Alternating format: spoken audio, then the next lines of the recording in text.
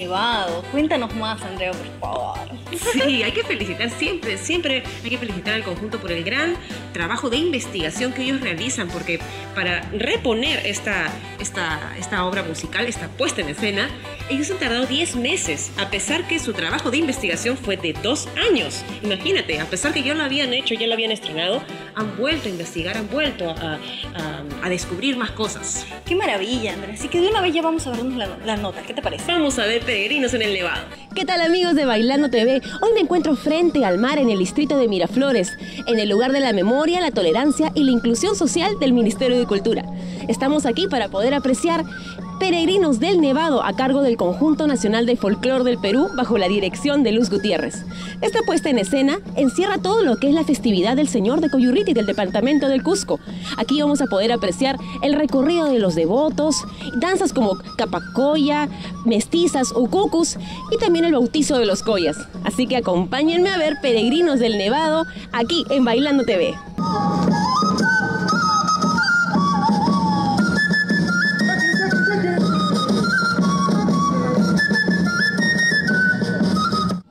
Bailando TV nos encontramos con Luz Gutiérrez, directora artística del Conjunto Nacional de Folclore. Cuéntanos, Luz, ¿cómo ha sido este proceso de reposición de esta puesta en escena? Bueno, el proceso de reposición ya es la tercera vez que lo hacemos nosotros queríamos llegar a otros espacios más con la peregrinación. Creemos que no solamente es un patrimonio inmaterial de la humanidad, sino también creemos que es un hecho social muy importante, ¿no? Donde converge justamente la pasión, la energía, la deidad, las divinidades, convergen también muchas formas de mirar y de sentir y, de saber cómo es el hombre. ¿Cómo fue al inicio? Me imagino que de repente fue un poco difícil. Eh, eh, este punto de unión de estos dos mundos. En realidad no es que haya una separación entre el teatro y la danza y es algo que también compartimos con Ricardo, que es el productor y que él justamente viene del mundo del teatro, ¿no?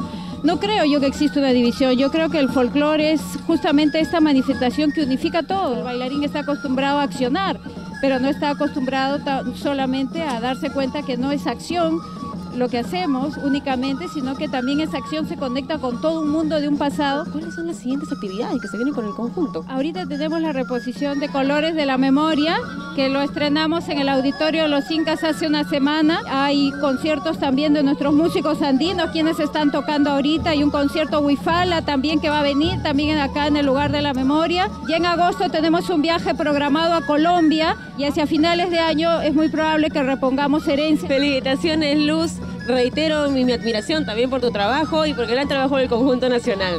Seguimos en Peregrinos del Nevado.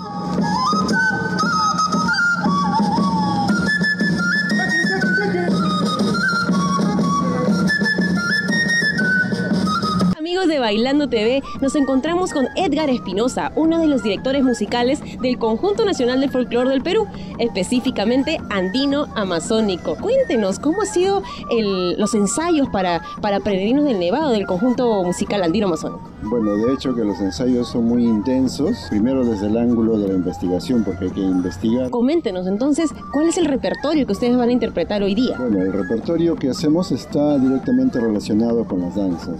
O sea, en este caso es danza y música. En Joyoriti, por ejemplo, se utiliza mucho las quenas y también hay la presencia del arpa, violín, el acordeón, que son instrumentos que si bien son foráneos, pero se han arraigado tanto en la música de Cusco. Entonces, se dan cuenta, chicos, el, el mundo musical, el mundo de los músicos es también muy amplio, así como también el, el de los bailarines. ¿Qué es más difícil, la música, interpretar la música andina o la música amazónica? Requiere primero investigación, después hay que tomar tomando varias personalidades. No es una tarea fácil, pero al mismo tiempo es, es placentero realmente para nosotros trabajar con, con, con tanta maravilla musical que hay en la tradición. Muchas gracias, maestro Edgar. Continuamos aquí en Peregrinos del Nevado.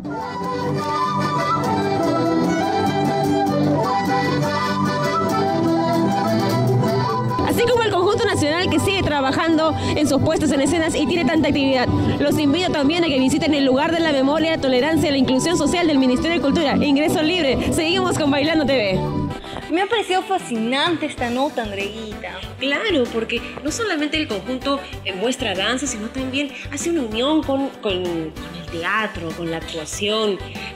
siempre voy a resaltar este tipo de trabajo del conjunto que se dan el tiempo de investigar, de saber, de observar, de viajar al lugar y poder traer esa herencia y plasmarla en escena. Así es, así que no hay excusa para perdérselo porque ya no pueden decir, no, no puedo viajar, por eso no lo he visto, no lo conozco, sino que lo han traído a Lima. Han traído de Cusco a Lima, el ingreso era libre, así que ya saben chicos, eh, eh, por medio de, de la directora Luz Gutiérrez ya nos hemos enterado de las siguientes, los siguientes eventos, las siguientes presentaciones del conjunto, así que ya saben, ya están advertidos. No se lo pueden perder, chicos, sobre todo como dices, es gratuito, así que hay que aprovechar, hay que aprovechar sus oportunidades. ¿Tú eres del conjunto? No, no. No, soy del elenco nacional. ¿Y cuál es la diferencia entre el conjunto y el elenco? Sí, porque a muchas, Sí, muchas veces nos confunden.